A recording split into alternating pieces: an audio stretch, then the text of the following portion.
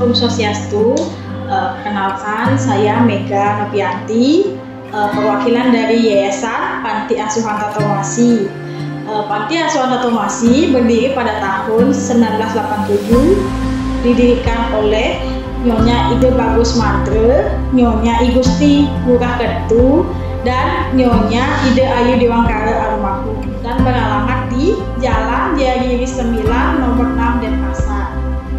Ini Panti Asuhan Tatomasi menampung anak-anak sejumlah 38 orang, e, di antaranya 34 anak perempuan dan 4 orang laki-laki.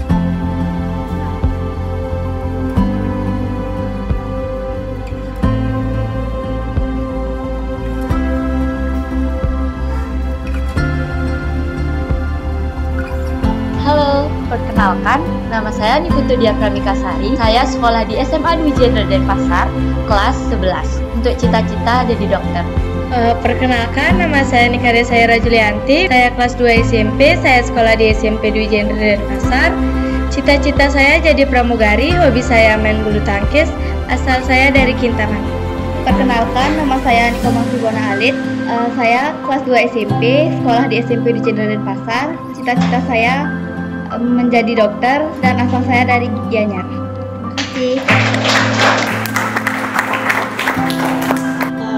saya untuk anak-anak di Tatomasi, semoga anak-anak tetap solid uh, dan anak-anak mereka semua sukses selalu.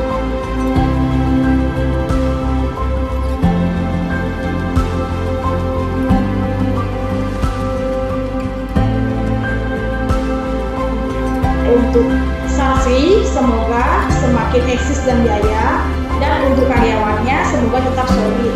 Sekian dari saya, apabila ada salah kata saya mohon maaf. Sekian dan terima kasih. Om Santi Santi.